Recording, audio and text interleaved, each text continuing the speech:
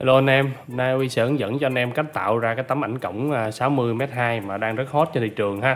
Cái này cũng dễ thôi nhưng mà có một số anh em à, chưa biết cách làm thì giờ Huy sẽ hướng dẫn cho mọi người làm ha. Rồi đầu tiên mình vô Photoshop ha, mình tạo một cái file mới ha.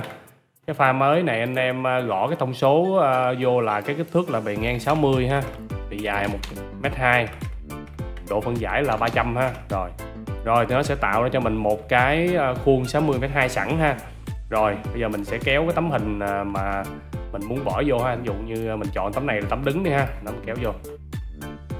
Rồi nắm kéo vô ha xong mình kéo nó xuống uh, dưới ha. Tấm đứng thường là cái tấm mà nằm ở chiều dọc ha. Rồi.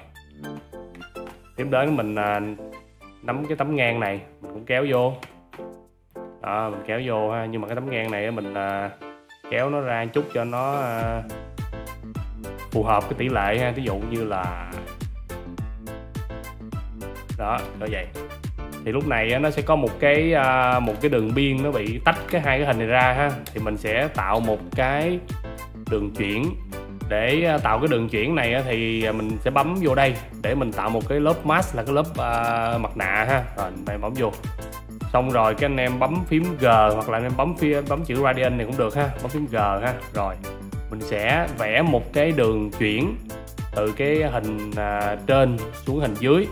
Anh em sẽ à, click đây xong anh em kéo xuống vậy. Rồi thì nó sẽ tạo ra một cái đường chuyển ha, nó mềm cái cái cái cái, cái đường biên ha nó mất đi cái cái cái cái vạch hồi nãy anh em thấy không? Đó thì hai cái hình này nó sẽ lồng vô nhau ha tạo nên một cái à, khối liền lạc ha. Rồi tiếp theo thì à, mình có thể mình thêm chữ hay là thêm một số cái typo vô ví dụ như là mình sử dụng cái ờ, pano này nó có sẵn cái typo về cưới ha dùng mình chọn vô nào có cái um, sale là đẹp hay gì đó. Nè ví dụ như này có sale đẹp nè rồi đó đóng kéo vô. Rồi ở ví dụ như uh, cô dâu chú rể nào muốn có uh, thêm uh, chữ nữa thì mình gõ vô ví dụ như là 22 tháng 10 2023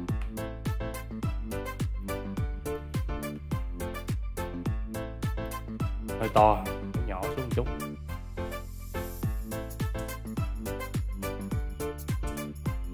Rồi giờ là vừa. Đó đó ví dụ như uh, để chữ vô hay là ai cô chú rể muốn có tên thì mình để tên vô. Đó vậy là mình đã có một cái tấm uh, hình 60 1m2 đang hot ha. Rất đơn giản đúng không anh em?